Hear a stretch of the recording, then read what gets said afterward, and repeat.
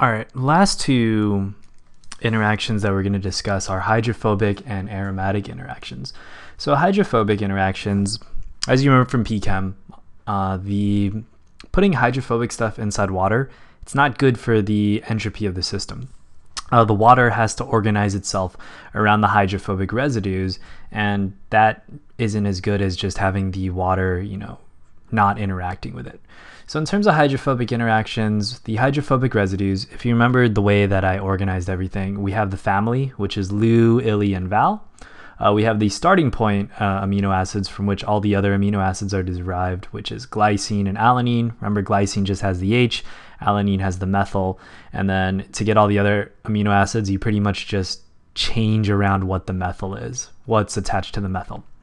Uh, we had those two random amino acids, uh, proline and methionine. Even though methionine has a sulfur in it, which is very electronegative, it's in the middle of the uh, it's in the middle of the residue. So the thioeth, since it's a it's a thioether sulfur, uh, that's not going to make the residue uh, polar and make the amino acid hydrophilic.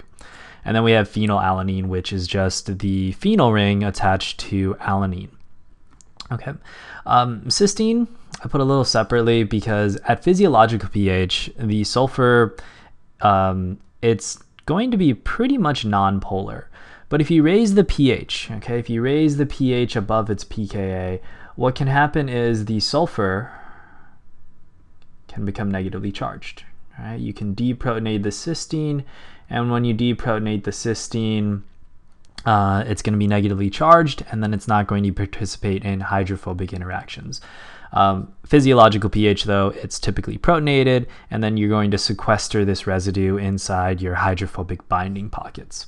Uh, but if you were to go to an extreme case where you really raise the pH, it'll be negatively charged, and then instead of being a hydrophobic interaction, it'll be classified as a ionic interaction. And then two more amino acids that are technically amphipathic, okay? With tryptophan, right? This is the bird beak. This is the polar part. And then with tyrosine, you have the OH, which is going to be the polar part. But um, overall, there's a lot of carbon, there's a lot of hydrogen.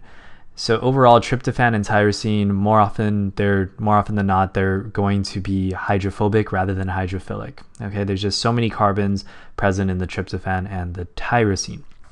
Okay, and the hydrophobic interactions, what those help do is they help bind to a given target because you want to get the amino acids out of the water solution.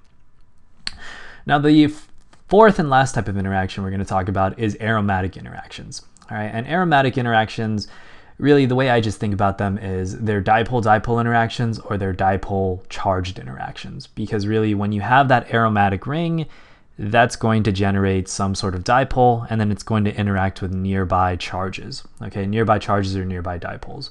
Four amino acids that you want to remember are tryptophan, tyrosine, phenylalanine, and histidine. And what ends up happening is the ring right here, okay, the ring is going to be a delta negative, okay, and then anything that's attached to the ring, like this hydrogen, is going to be a delta positive. All right, so that's the type of dipole or the type of charge that develops inside your aromatic rings and they can interact with nearby molecules. Like for example, the ring here could interact with like a nearby lysine.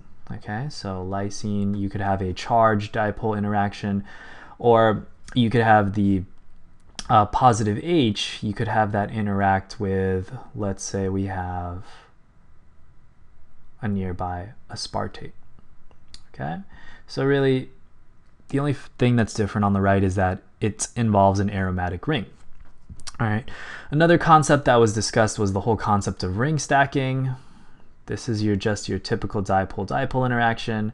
The ring is considered a delta negative,